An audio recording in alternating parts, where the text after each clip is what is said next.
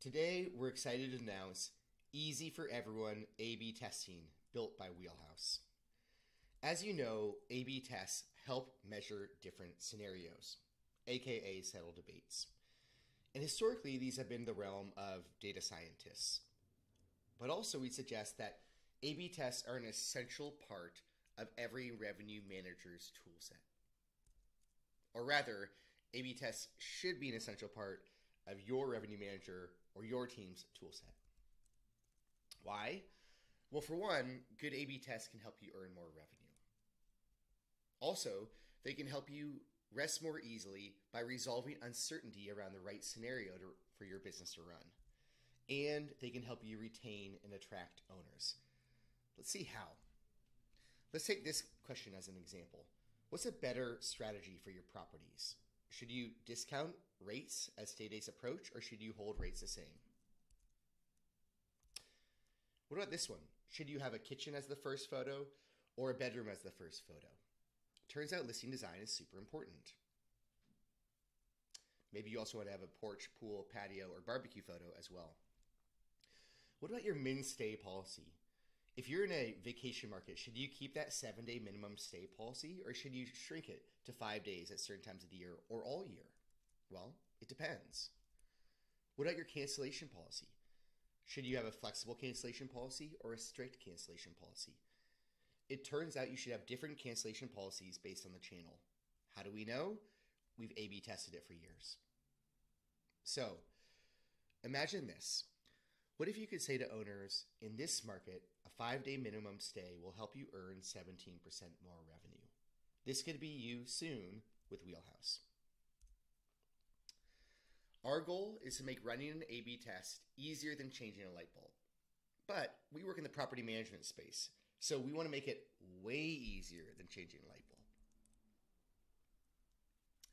Ready to set up your first A B test? Let's go see how easy this can be. I'm now on Wheelhouse's bookings tab. I actually have an A B test already set up. We're going to build another one in just a second. But here you can see I've selected a tag of last minute aggressive and a separate second tag of last minute conservative.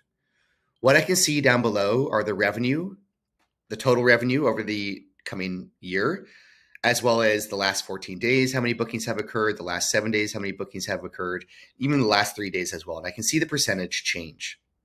This chart shows me the performance as well, and I can even go in and explore in a table view to see the data for myself. All this data is exportable. Therefore, if I wanted to send an owner a message detailing how our last minute aggressive versus last minute conservative listings performed, it'd be easy to do so. I can send an image or I can send the data. Now, let's see how we can set up infinite of these. Let's go quickly. build an A B test leveraging our portfolio settings page. Here we're going to be able to leverage tags as well as the ability to bulk update settings to quickly create an A B test. To do so, I'm going to grab the first eight listings here. I'm going to edit this group and I'm going to add a tag that says min stay five nights. So we're doing this live. I'm going to create this new tag. Great. And then I'm going to grab the next eight properties. So I can unselect these. Just clear sections. Then I'm going to grab the next eight properties here. And I'm going to tag these slightly differently. I'm going to tag min stay seven night. And you can probably see where we're going with this. Now I'm going to filter this page. First, I'm going to filter by the tag, min stay five nights. I'm going to select all, and I'm going to go adjust the minimum stay policy. So it's right here. It gives me the ability to update all at the same time.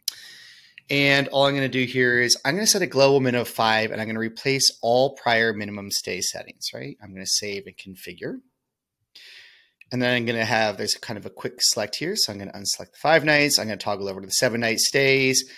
I'm going to select all. And again, I'm going to edit the min stay. I'm going to set a global min of seven nights. Let me move my face again so you can see it. So global min of seven. Of course, I could do more complicated rules. I could do time-based rules and set A-B tests around that. And I'm going to, again, replace all. Great. So now our portfolio is set up for easy review of our A-B test.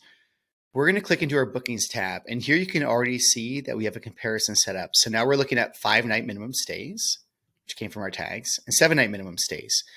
And we can zoom in on weekly, monthly, or even daily performance. Now, after a week, what you might want to do is just come look at this tab and isolate what's booked in the last seven nights. In this case, should we have started this test a week ago, you would have seen which bookings had come in as a result of your new updates. You can also see those performance numbers tracked here, seven days, three days, etc.